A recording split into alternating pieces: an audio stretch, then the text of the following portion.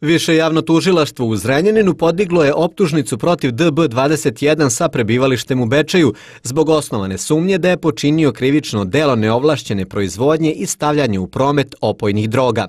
Kako se navodi u optužnom aktu, okrivljeni u toku 2016. godine u Bečeju neovlašćeno stavljaju u promet opojnu drogu na taj način što je u više navrata za 500 dinara po paketiću prodavao marihuanu. Osnovno javno tužilaštvo u Zrenjaninu podnelo je optužni predlog sudu protiv MS-40 žitišta jer je u tom gradu na pijaci prodavao domaće kobasice i slaninu koje nisu prošle odgovarajući pregled. Prema optužnom pregledu, on je 10. avgusta otkriven dok je na pijaci u žitištu nudio na prodaju 9,5 kg fermentisane kobasice, 9,5 kg barene kobasice, 4,5 kg barene slanine i 2,5 kg dimljenog mesa. Navedene namirnice životinskog porekla nije pregledalo ovlašćeno lice i nisu bile propisno obeležene.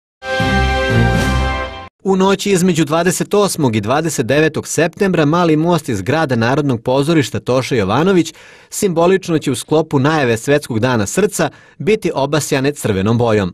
Svetski dan srca biće obeležen u Zrenjaninu 29. septembra akcijom na Trgu Slobode, gde će u periodu od 10 do 17 sati građani moći da prekontrolišu krvni pritisak, šećer u krvi, težinu i indeks telesne mase. Učešće su uzeli opšta bolnica, Dom zdravlja, Zavod za javno zdravlje, Crveni krst Zrenjanin. U organizaciji Savremene galerije Zrenjanin od 2. oktobra do 9. novembra biće održano 12. bijenale akvarela. Dela će biti izložena u salonu Narodnog muzeja Zrenjanin, Subotićeva broj 1 u salonu Savremene galerije Zrenjanin, Trg Slobode 7. Otvaranje izložbe biće održano u ponedeljak 2. oktobra u 19 časova u salonu Narodnog muzeja Zrenjanin. Realizaciju izložbe 12. bijenala akvarela omogućilo je Ministarstvo kulture i informisanja. Rukometašice Zrenjaninskog proletera u prvom kolu Super B lige prvenstva Srbije gostovale su ekipi Požarevca.